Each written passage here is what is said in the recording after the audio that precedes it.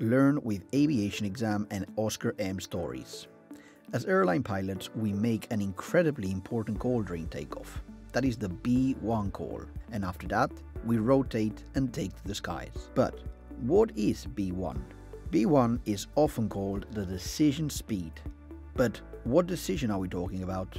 At or before V1, the pilot must decide whether to continue the takeoff or reject the takeoff.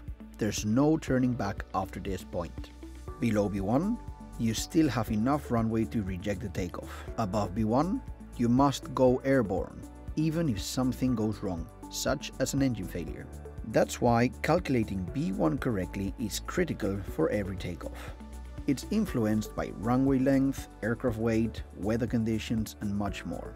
Aviationexam covers all these factors and more with up-to-date ATPL and PPL questions, full explanations and smart e-textbooks. Download the app and test your knowledge today.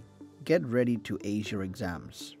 Practice with real exam based questions with daily updates and filtered by your own country.